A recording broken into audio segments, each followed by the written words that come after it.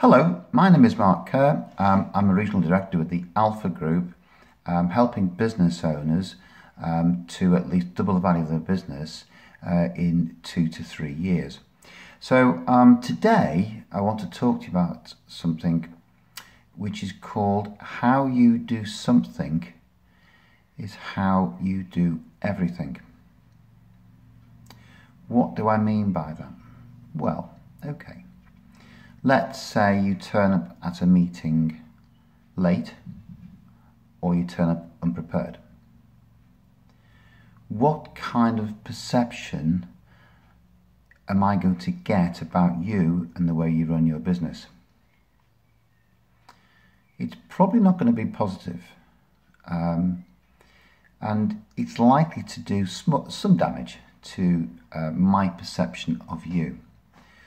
Um, people who are, uh, say, who, who turn up late for meetings are often late for everything. Be why? Well, because they often leave things to the last minute. Um, they are often unprepared for their day's work.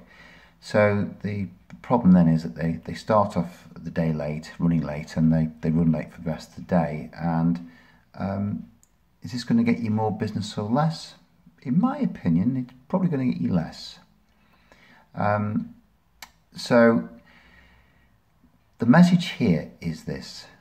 Please um, bear in mind that other people's perception of you is their version of the truth.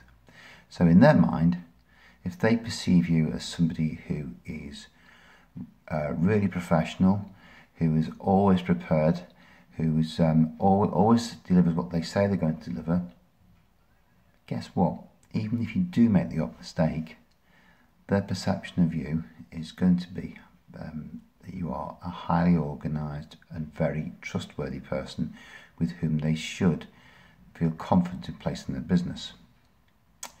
However, if their perception of you is um, that you are not um, the sort of person who always delivers, who always does what they say they are going to do when they say they're going to do it by, um, then they will, unfortunately, be less likely to want to trust you with their business.